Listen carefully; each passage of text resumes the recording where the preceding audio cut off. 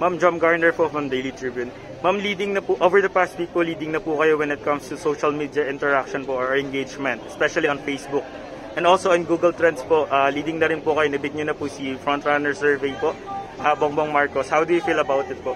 Siyempre, siyempre very thankful. Very thankful kasi alam natin na ito talaga organic. Ah, ito ay nanggaling talaga sa maraming mga supporters na tumutulong. Ipapakita din ng pagdagdag ng interes sa laban natin.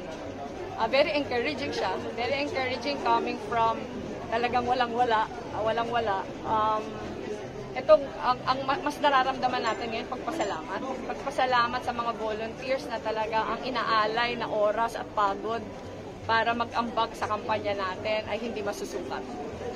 Um, ito nagbibigay sa amin ng mas malaking inspirasyon sa kapag-asa na hindi tayo nag-iisa sa laban na to. Maraming marami tayong ah, kabahagi sa laban na to.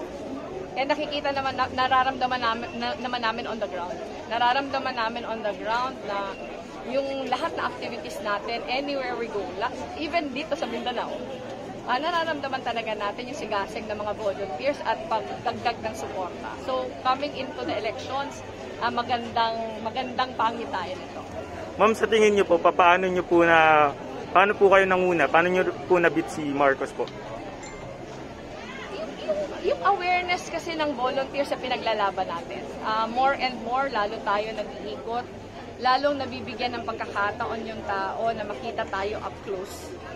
Um, yung engagement sa social media, gusto sabihin na kahit ang daming mga bayaran, ah, natatalo ito ng organic na mga supporters na handang makipaglaban for us.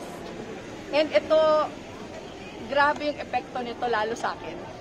Dahil in the last five and a half years na vice president ako, nasa receiving end talaga ako ng grabing disinform- disinformation, ng grabing bashing, ng grabing propaganda.